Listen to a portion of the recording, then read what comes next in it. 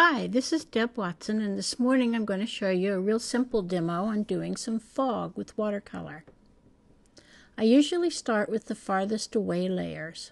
In this case, I'm putting some yellow and red, making orange, onto the sky. I'm working on dry paper,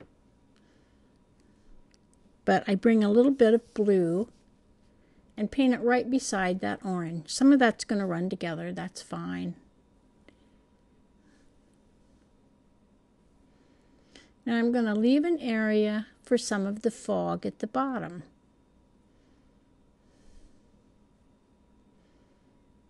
I don't want the fog to go around the trees. I want it to just rise up from the valleys. And I rinse the blue out of my brush and get clean water and fill in the foggy area with the clean water making sure I touch the area above it so some of the color will bleed down in there. When you're doing multiple layers of fog, you can do it several ways. The easiest to control is to just work a little bit at a time. So I'm coming down to this bottom layer where the fog will be because it's all dry and I don't have to worry about it running together. I'm going to have my silhouettes get darker as they come forward. So you can see that I'm using much thicker paint on this most forward level.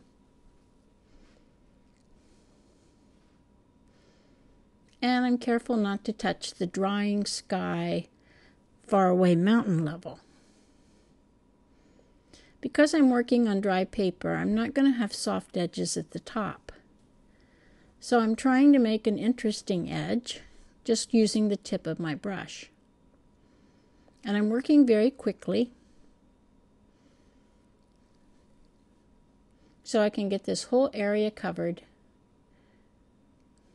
before it dries and get the clean water in to make the fog.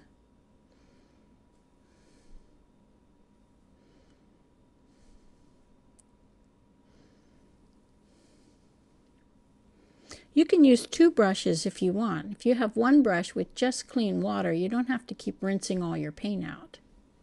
This is a very small picture, so I'm just sticking with one brush. You can see I rinse out color, apply the clean water, and gently make sure it's communicating with the edges of the color.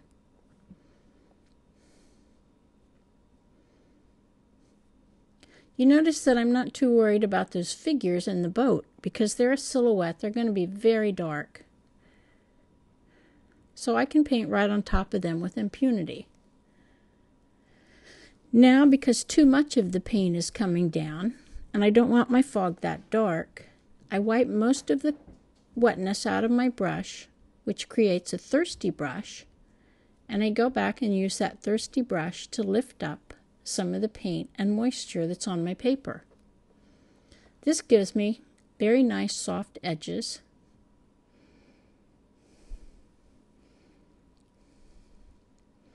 And a real fog-like feeling. The water is also going to be orange. I'm starting with a really light wash of orange.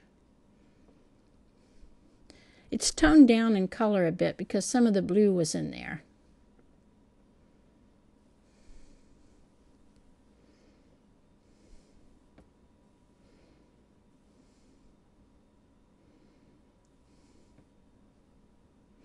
I changed my composition. My original photograph went straight across, and I thought it would be a lot more interesting if I broke it up into two-thirds and one-third.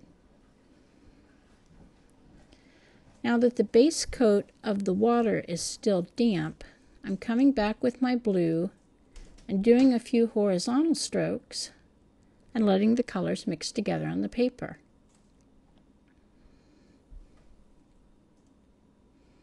This is going to be really light, so I'm bringing in a darker blue.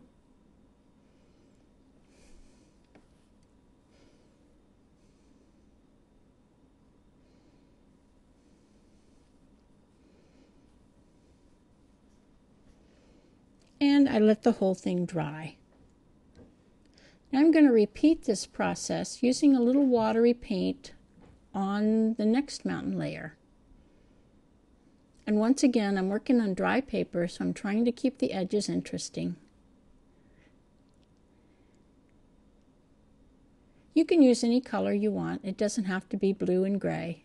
You could use browns and golds, even reds, pinks, whatever your color preference is.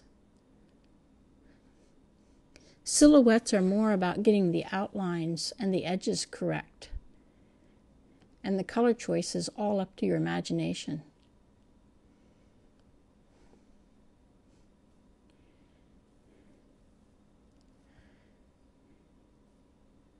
This is going to have fog coming up from the valley back there. I'm using a smaller brush because it's a small area and I don't want to flood it.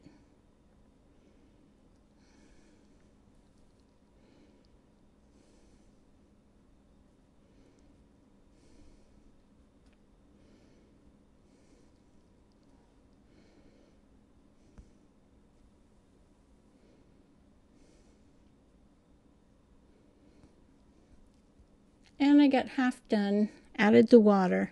Now I'm going to do the other half.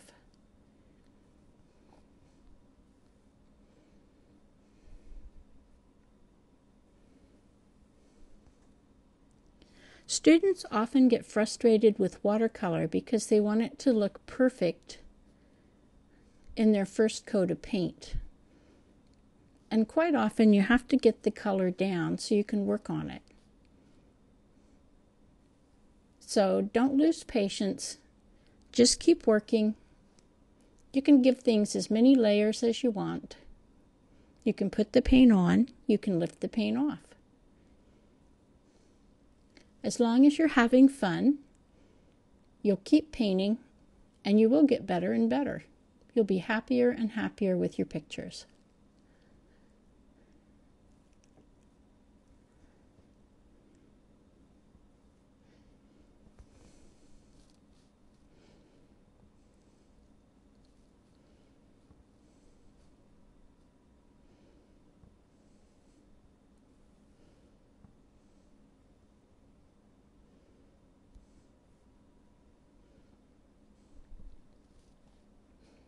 You can see that the water and the faraway mountain did dry very light. I think I'd like a little more value contrast on both of those. So I'm just going to give the water another coat.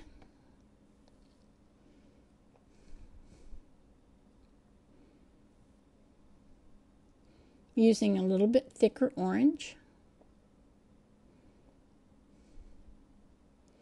And more blue.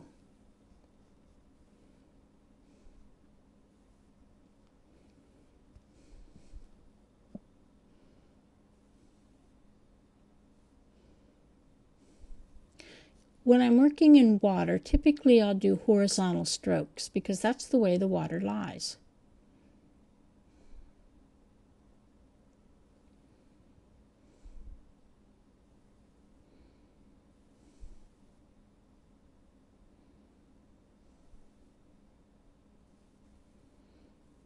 And I'm leaving one area to be very light for the light coming in from the side there. Okay, once again, I let this dry. And I'm doing at the intermediate layer back here in exactly the same way.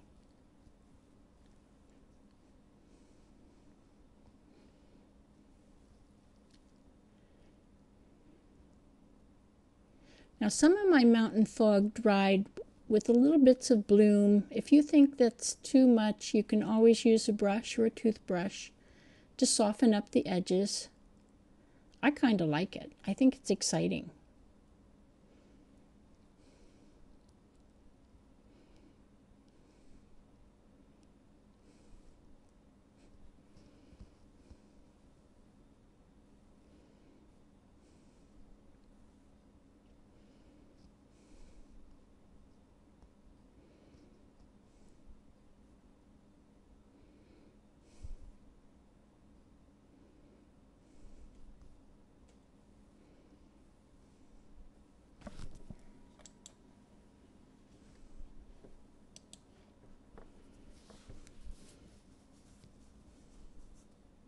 I'm pulling this down and adding my clean water fog, including that far away edge this time.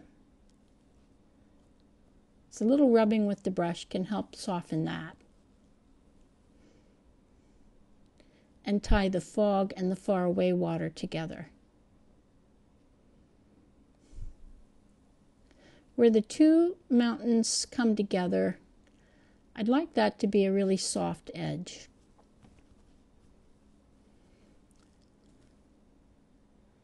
And I'm using a thirsty brush to lift some of that up.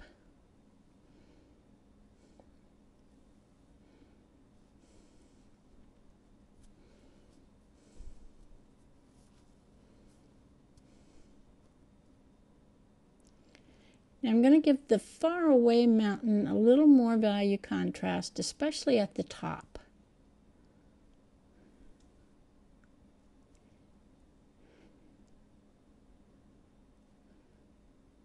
So I just put the color at the top and then add water to bring it down. And I'm using the side of the brush.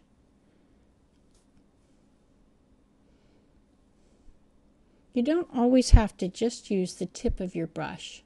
You can use the side, you can use a brush in a lot of different ways.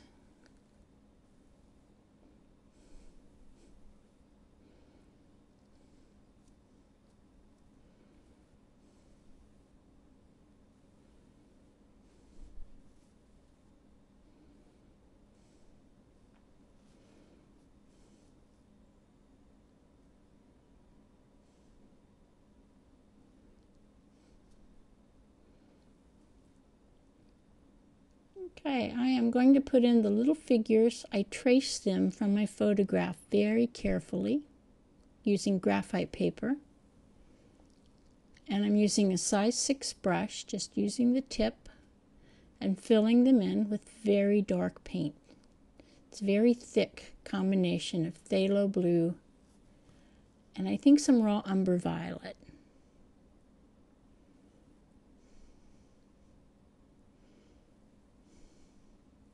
I leave a tiny little line to suggest where the boat is. And pull down a little bit of reflection. Water it down and bring down even more. And soften some of that up.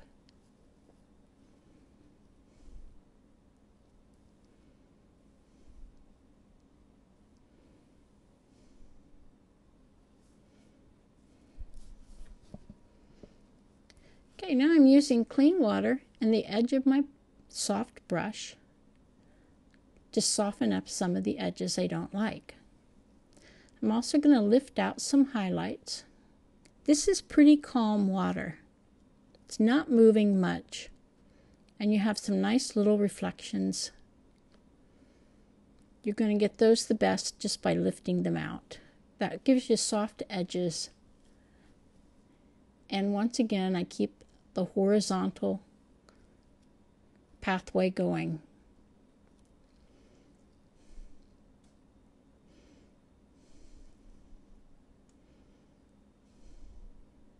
I soften up the edge where the fog is so that it kind of disappears.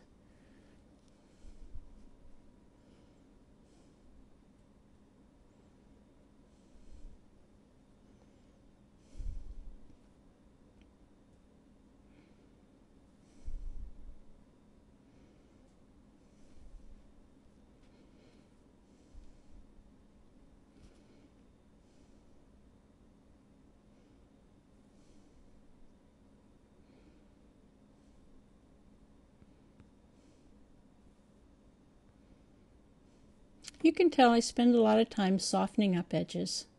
I go through a lot of these size 6 brushes because I just wear them out. But they're not that expensive.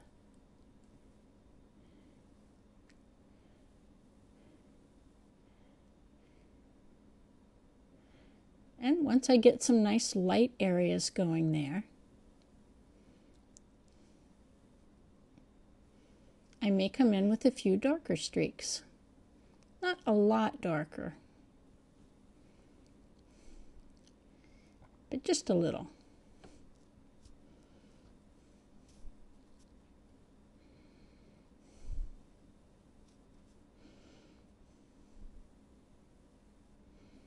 And this is my demo on doing fog.